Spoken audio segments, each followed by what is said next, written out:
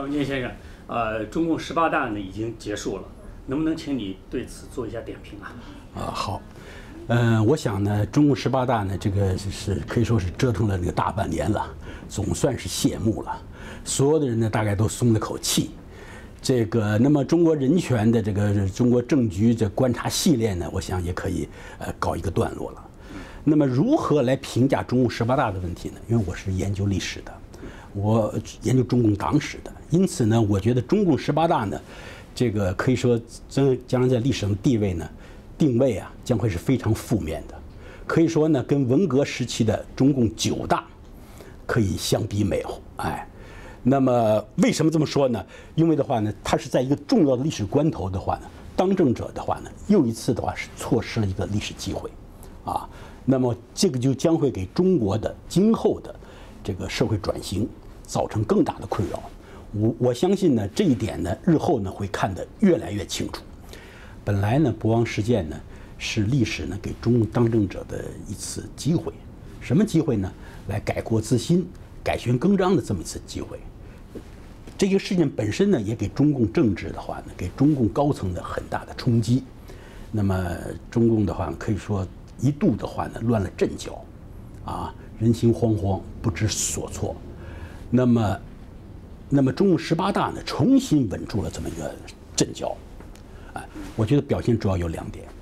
第一的话呢，是完成了代际的权力交接，啊，这个但是这个常委班子呢，是一个色彩非常保守的。啊那么其中最重要的人物就是说，像这个最典型的人物就是像这个刘云山了。那他是这个这些年来这个这个封杀网络呀、新闻界、思想界、出版界这些，他是一个杀手啊，最大的杀手啊！哎，他的话呢，先进入常委，所以你想想，人们能够对这十八大有更大的期望吗？再一个呢，就是在这个中共十八大在这个今后啊走什么路、举什么旗的问题上。那么他宣誓的话呢，这个不走老路，不走邪路，啊，要走正路，就是所谓的这个中国社会主义特色的这这么条道路。这个这个东西的话呢，实际上的话呢，就是拒绝政改，啊，把这条路呢给堵死，而且拒绝的话呢去毛化。整个摆出来的给人们的一个观感呢，就是说呢，他要决心的话呢，拒绝任何改变，要一条道走到黑。因此的话呢，社会各阶层我注意到，对这个中共十八大的呃普遍感到失望啊，这是很自然的。第二点，我想强调一点什么呢？就是从就是党代会呢，中共的党代会固然是非常重要了，这是按照党章规定，这是党的最高的权力机构了。但是也不必把这看得很重，因为从中共党的历史来看的话呢，任何重大的转折，并不是在党代会。而是在两次党代会的之间的中央会议、中央全会或政局扩大会议。你譬如说遵义会议，啊，确立毛的领导，那是一次紧急的政局扩大会议。你你那个再比如说这个发动文化大革命，毛泽东发动文化大革命，六六年五月份政局扩大会议，啊，你你再比如说这个林彪庐山会议，啊，这个这个它是九届二中全会。所以呢，最近的一次呢，就可以说。十一届三中全会，十一届三中全会召开的时候呢，实际上就否定了十一大的政治路线，所以呢，我觉得话呢，也不必太悲观。那么你觉得十八大以后，习近平他面临的挑战是什么呢？我觉得话呢，习近平的日子啊不好过，为什么呢？因为他面临着一个，他首先面对的是一个呃胡锦涛交给他一个烂摊子，可以说是内外都是面临这么一个困局。而且呢，他的这种他的这种这种生态政治生态环境的话呢，相当恶劣。可以说他有两个婆婆，一个是江泽民，一个是胡锦涛。而且，共产党的祠堂里面呢，还有毛邓两位这个神龛在那供着。所以的话呢，习近平的话呢，这个各方面的怎么从行格示进呢？他可以说打个形象的比喻吧，可以说是带着镣铐跳舞。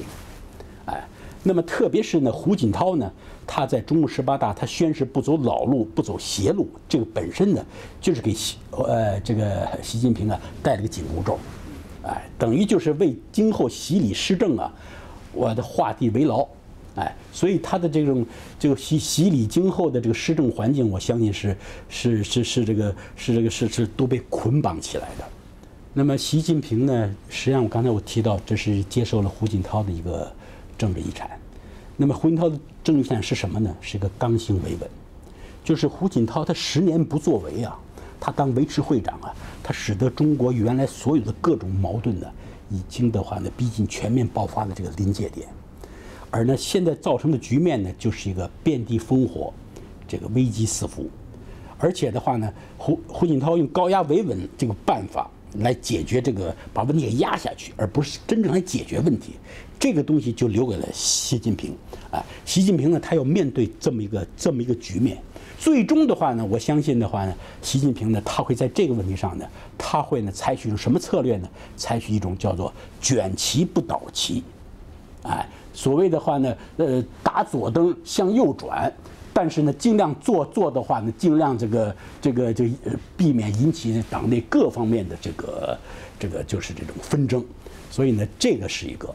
那么呢，所以我觉得话呢，习近平呢，他面临的局面呢非常那个严峻，他不像江泽民一样可以做十年的太平天子，他也没有历史条件像胡锦涛一样做十年的维持会长。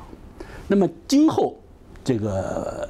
习近平他这十年的话，他会是一个非常严峻的一个局面。我的看法是呢，他面对的一个根本性的问题，他不做一个根本性的这个这个改变之后的话呢，中国的社会矛盾呢会越来越尖锐，会形成大规模的街头风潮。而在那个时候，习近平他采取的决策，将决定习近平自己的命运，同时也决定中国的今后的命运。换句话说，面对大规模的社会风潮。街头风潮的时候，他采取的策略是什么？他是镇压还是不镇压？那么我说呢，习近平呢，他有三个结局。他如果他如果在大大规模的街头镇压的这么这这大规模街头风潮的这种情况下，他最后的话呢，决定采取一种这个政改这条路的话，他将成为蒋经国第二，台湾的蒋经国第二。那么如果他坚持镇压，而且镇压成功，他将成为这个邓小平第二。所谓杀二十万人，稳定二十年。但是如果他镇压失败或者军队反戈的话，他可能就成为敲塞斯库第二。这个历史的话呢，给习近平的时间已经不多了。